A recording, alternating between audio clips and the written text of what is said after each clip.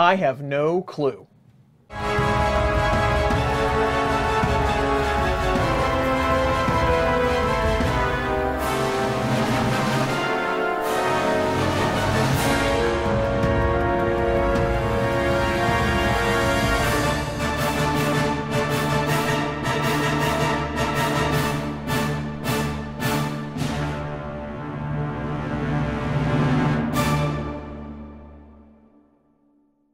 It's going to be a long couple of weeks.